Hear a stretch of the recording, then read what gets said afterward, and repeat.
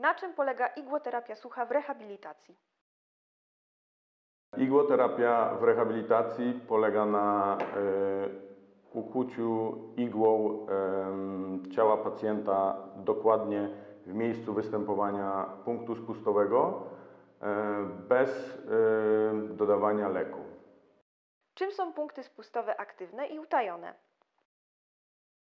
Punkty spustowe możemy podzielić na e, aktywne oraz utajone. Aktywny punkt spustowy jest to taki, który w stanie spoczynku mięśniowe, e, mięśniowym lub w stanie e, kompresji powoduje dolegliwości bólowe.